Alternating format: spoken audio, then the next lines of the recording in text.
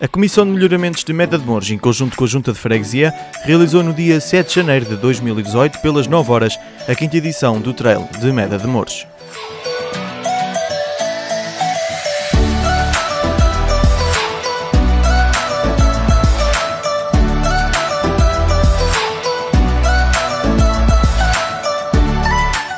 O evento foi composto por duas modalidades, o trail e a caminhada, com a vertente de trail longo de 24 km e com o trail curto de 15 km. A partida e chegada deram-se no campo de futebol, no Centro Cultural Desportivo e Recreativo de Meda de Mouros.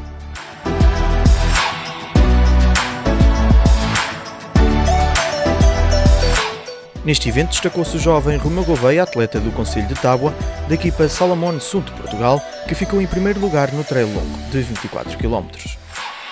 É um prazer correr aqui em, em Meda de Mouros. Foi onde eu comecei a correr e onde espero acabar a minha carreira de, corredor, de atleta, do que quiserem chamar. É, é bom começar o ano em Meda de Mouros, foi, foi bom vencer e chego onde chegar eh, no mundo do desporto, devo a Meda de Mouros, devo a esta prova, devo ao Marco Veludo, devo ao João Patrício, que foi com ele que comecei a correr. E foi este o teu primeiro trail que tu te estreaste? Este foi a primeira prova, eu nem gostava de correr, foi aqui que eu fiquei com a paixão por correr.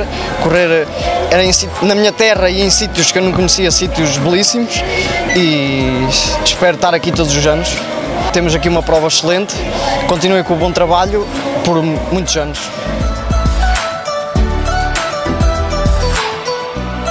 É a primeira vez que cá estás? Sim, Como é que correu a prova?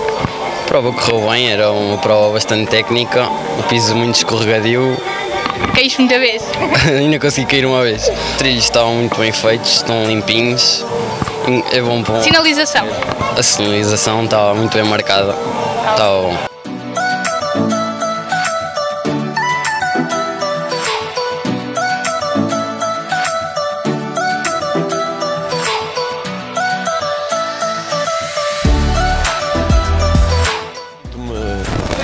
Feliz e adoro isto.